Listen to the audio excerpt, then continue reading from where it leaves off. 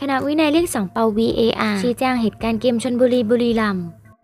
เข้าชี้แจง คณะกรรมการพิจารณาวินัยมารยาสมาคมกีฬาฟุตบอลแห่งประเทศไทย เรียกสองเปา VAR อย่างนายวิศเวศสังนคร และพัทรพงศ์กิจสถิตเข้ามาชี้แจงเหตุการณ์ที่เกิดขึ้น ในเกมระหว่างชนบุรีพบบุรีรัมย์ในจังหวะเช็ค VAR ใบแดงของผู้เล่นบุรีรัมย์และทำกิริยาไม่เหมาะสม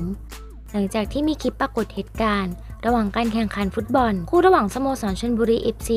พบกับบุรีรัมยูไนเต็ดในนาทีที่ 30 ของการแข่งขัน ในจังหวะเช็ค VAR ใบแดงของสัสลักไหประโคนผู้เล่นสโมสรบุรีรัมยูไนเต็ดซึ่งปรากฏภาพการแสดงท่าทางที่ไม่เหมาะสมของผู้ช่วยผู้ตัดสิน VAR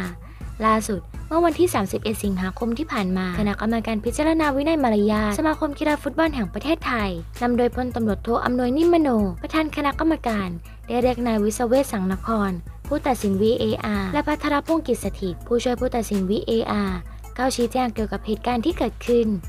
ภายหลังจากการประชุมพลตำรวจโทอำนวยนิมมโน เปิดเผยว่าจากเหตุการณ์ที่ปรากฏขึ้น ระหว่างเกมการแข่งขันดังกล่าว ทางสมาคมไม่ได้นิ่งนอนใจ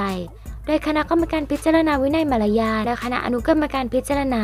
การทำหน้าที่ของผู้ตัดสินได้เรียกผู้ตัดสินทั้งสองคน ที่ปรากฏในคลิปมาชี้แจง ซึ่งหลังจากทราบเรื่องทั้งหมด ว่าเป็นการแสดงความดีใจ และยินดีระหว่างกัน เนื่องจากสามารถให้ข้อมูลช่วยเหลือ การตัดสินของผู้ตัดสินให้สามารถตัดสินได้อย่างถูกต้อง ไม่ใช่เป็นการแสดงความดีใจที่เกิดขึ้น ที่เกิดจากผลการตัดสิน เป็นคุณหรือเป็นโทษ กับสโมสรหนึ่งสโมสรใดแต่อย่างใดทางคณะกรรมการได้ว่ากล่าวตักเตือนอย่างเป็นลายลักษณ์อักษรต่อผู้ตัดสินทั้งสองคน ที่แสดงท่าทางไม่เหมาะสม และให้ระมัดระวังโดยเฉพาะระหว่างการปฏิบัติหน้าที่เนื่องจากการแสดงภาษากายบางครั้ง สามารถทำให้ผู้อื่น เกิดการเข้าใจผิดได้ พร้อมยังได้ย้ำแจ้ง ผู้ตัดสินทุกคน ให้วางตัวอย่างเหมาะสมในการปฏิบัติหน้าที่เพื่อไม่ให้เกิดความเข้าใจผิด ในตัวของผู้ตัดสิน